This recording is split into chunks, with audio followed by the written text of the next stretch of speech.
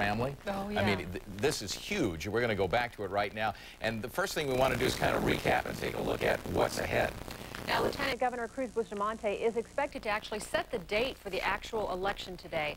Now, the Secretary of State's office says the ballot will have actually two parts to it. One of it, the actual recall itself. The second part of it is going to be Davis's possible replacements. But Bustamante is throwing that second part now into question, and some say that he is leaving the door wide open to step into the governor's office himself.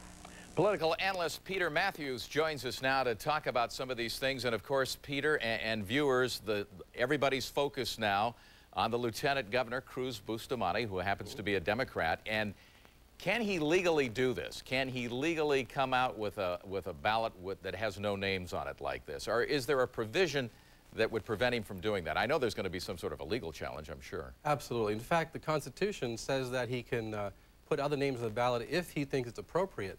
So legally, he can do that, and it will be challenged in court if he does that, though. So, so the little new territory right now. The little hitch is if it's appropriate, right? That's right, if it's and I understand that that was put in there. Should they recall a judge or something like that, then you wouldn't put other names on a ballot. That's true. It's supposed to apply to judges mainly, but he's stretching it a bit, and if he does that, he'll become governor, uh, at least temporarily.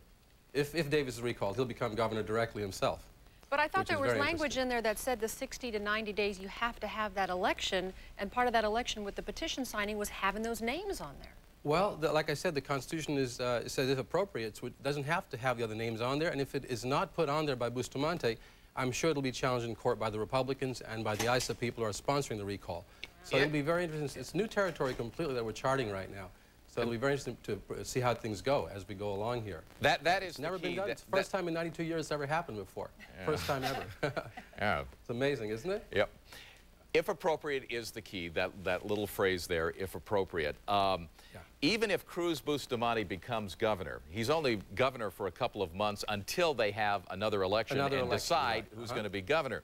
The only other option would have been for Governor Davis to have resigned prior to the Secretary of State announcing the official tally but that's this point, then Cruz could have become, but if he resigns now, yeah. No, now, now uh, if Cruz Bustamante becomes governor, it'll just be for a few months probably, and that'll also put things off in terms of the budget crisis. It's going to affect everything. I mean, the state of California is having a major problem with the budget, and this uh, really wouldn't help a whole lot to uh, focus, take the focus away from the budget and onto this recall effort. But it's going to happen because people are already, I think a lot of people are really uh, upset at what was going on, and there are two sides to the issue always, you know, so we'll have to see what happens. How first? You, how soon do you think that first legal challenge is going to come about?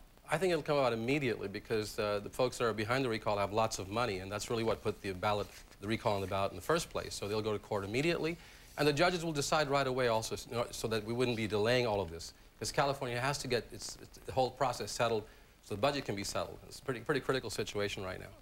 All Okay. right. Thanks very that. much, Peter. My It's a pleasure. story that uh, we're going to be talking about all Yeah. morning and all week and right up until they have that election. Later, uh, Peter's going to rejoin us. He's going to talk more about the governor's chances of uh, fighting the recall. He'll also talk about some of the potential contenders who could fight for his job. That's coming up at 6 o'clock. Lots of layers to this story, and we're sort of peeling them away one by one. All right, still to come here on Today in LA, we're going to go live out to Wall Street for a first look at your money. And could it be true, an ice cream cone having the same effect on your waistline as a rack of ribs? What one group is saying. And as we take a